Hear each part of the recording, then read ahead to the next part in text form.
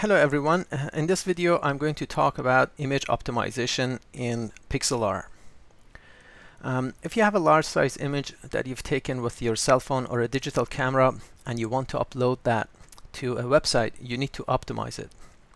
If you happen not to have a Photoshop software, you can use an online free software called Pixlr. Um, you can go to pixlr.com and then you can scroll down to Pixlr Editor.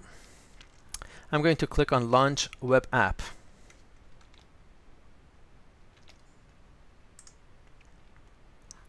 You may need to activate your Adobe Flash. That's fine. I'm going to click on that and allow. It takes a, a, uh, couple of seconds to load the software and now we have this uh, window. It asks me to open the image. I'm going to click on that and open this picture. If you have worked with Photoshop or you've seen Photoshop, uh, you see the resemblance of this um, Pixlr to Photoshop. Um, they're quite uh, similar to each other.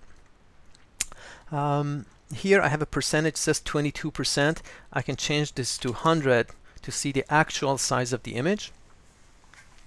Then I can go to image, image size.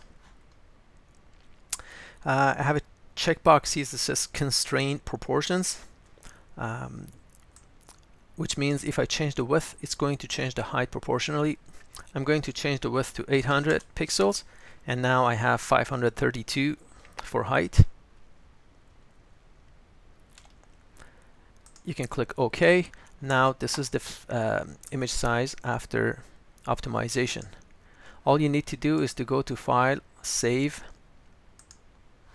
and it brings you here.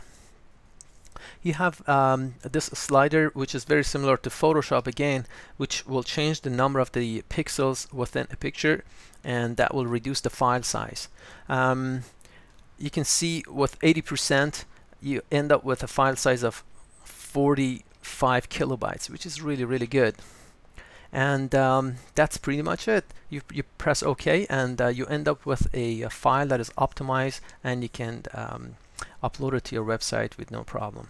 I hope you enjoyed the video. Thank you for watching.